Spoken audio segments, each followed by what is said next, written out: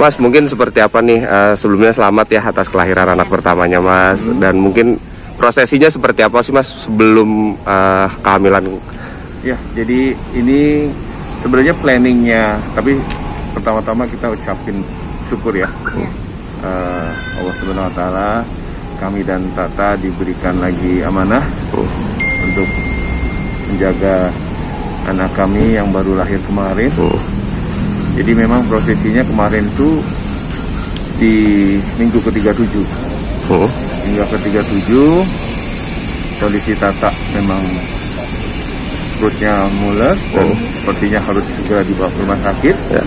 Dan setelah ketemu dokter dan dokter dari hasil observasinya menyatakan harus segera dilakukan operasi. Ya lakukan tindakan oh. ya dengan mengambil tindakan sesar agar bayinya bisa sudah menurut dokter sudah bisa untuk dilakukan tindakan sesar. Oh. Ya, jadi itu kemudian tindakannya itu diambil sekitar pukul 20 lewat 30 menit malam oh. dengan operasi alhamdulillah berjalan lancar dengan tim dokter dari uh, hospital. Oh kami mengucapkan terima kasih. Oh. Semua proses operasi berjalan lancar. Oh. Dan anak kami sehat Alhamdulillah dengan berat 2 kilo 950 gram oh. dengan tinggi badan 50 okay. dan mungkin uh, dalam uh, recovery ya mas ya? Ya, sekarang masih recovery. Okay. Kebetulan karena jahitan masih ada, oh. jadi uh, tunggu hasil jahitan dulu. Oke. Okay. Tata sendiri nih setelah melahirkan itu seperti apa mas? Kondisinya mas saat ini mas? Kondisi sekarang, uh. ini ada hari ke kemarin ya baru operasi hari pertama, alhamdulillah lancar. Jadi nanti rencana tidak perlu ada yang dikhawatirkan. Uh. Mungkin dalam waktu berapa hari lagi bisa. Oke. Okay. Berarti dalam ya Raden Erlangga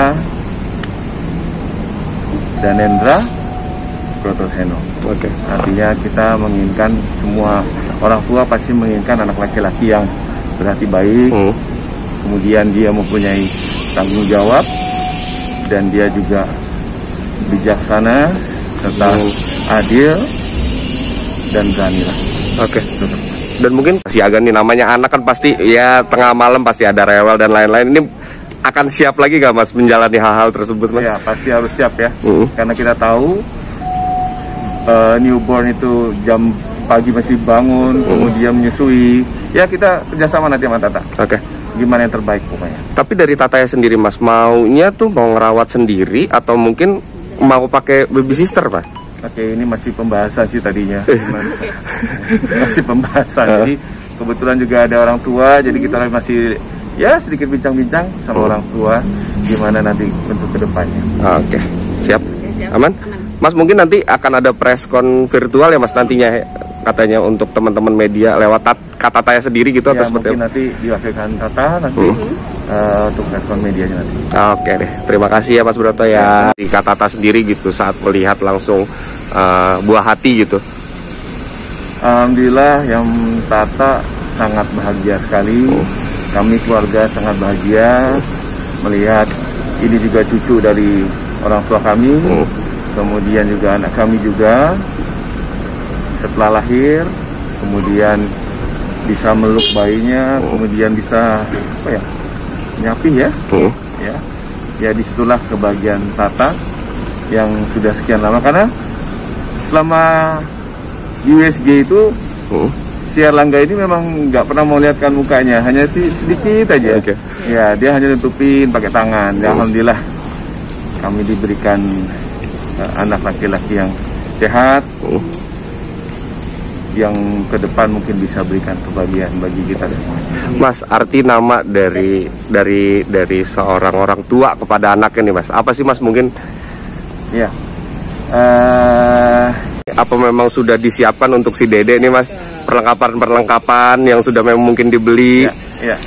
Pastinya setiap orang tua pasti sudah menyiapkan. Oh. Ya, hal yang paling simple seperti tempat tidurnya, oh. kemudian barang-barang mainannya dia, stimulan-stimulan buat umur newborn seperti apa ya pokoknya banyak hal yang lucu-lucu pokoknya Oke. Nah, di- kalau di keluarga sendiri siapa yang paling excited banget dengan kelahiran uh, Iya. dedek ini? Oke, ini kebetulan ada Atar sama Janet kan di rumah. Tadinya tuh kita belum tahu apa sih ini berjenis kelamin dari si Dedek sekarang ini. Ya lucu. Anak-anak itu begitu Atar taunya baby boy, wah dia senang I have a brother. nah, yang si Janet bilang, waduh, gak ada teman nih Janet. Ya, gitu. Jadi alhamdulillah lah si kecil ini si bungsu ya. Hmm. Insya Allah mudah-mudahan bawa Ber- kebahagiaan. Berarti nantinya akan meramaikan rumah lagi ya Mas ya. Iya, kita punya tiga lagi, jadi rumah rame bakal rame. Mas akan